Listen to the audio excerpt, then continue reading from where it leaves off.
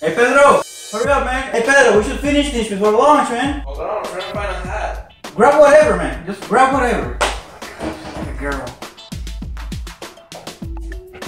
Hey guys, We just finished watching the first episode of One Punch Man. that was pretty awesome. Very exciting. We're gonna give you our first impressions of the episode.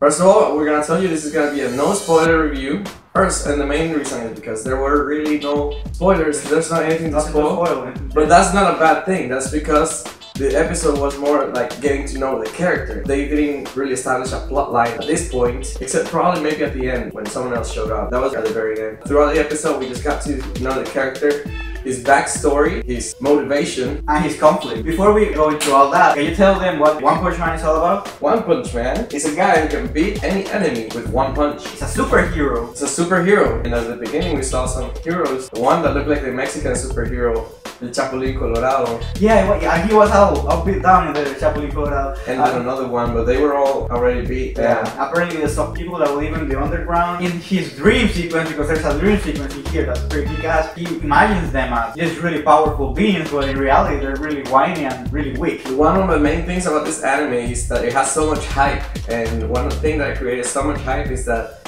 this anime was created from a, a manga, but this manga was an adaptation of another manga that was like an underground manga. Yeah, it was an independent webcomic, and the guy who drew this, he didn't know how to draw. So he just kind of drew some sketches as just as they came out, but the story was so good that it was picked up by the guy from Eyeshield 21, Yusuke Murata or Shonen Jump, decided to recreate or redraw this story, and it looked very awesome.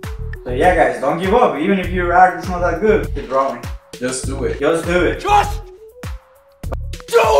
Overall, the episode was very exciting. Uh, the animation is the main thing that got my attention. The music is pretty epic, but And it's, hardcore. it's not orchestral. It's more like hard rock. I really like the music. I liked it very much.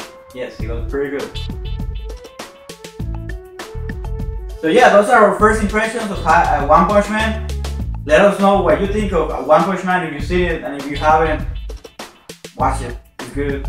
You can find it in Hulu. I think that's the only place you can find it. At. Or, uh, or maybe Crunchyroll. I mean, you use your legal ways to find it, Or just like we did. Don't do the wrong thing. Part of the torrent. we don't do illegal No. Shame. Shame.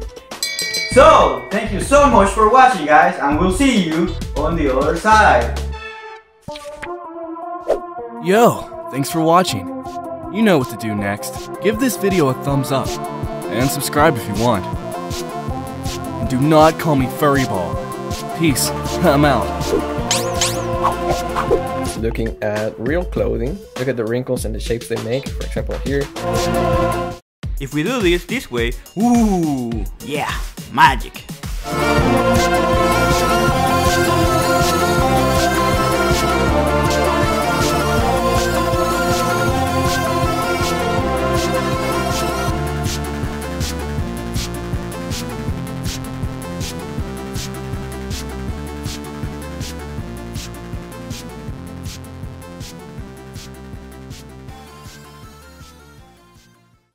Yusuke Murata. Yusuke Murata. Yusuke Murata. Hakuna Matata. Is that racist? yes, it is. I love Yusuke Murata. That's his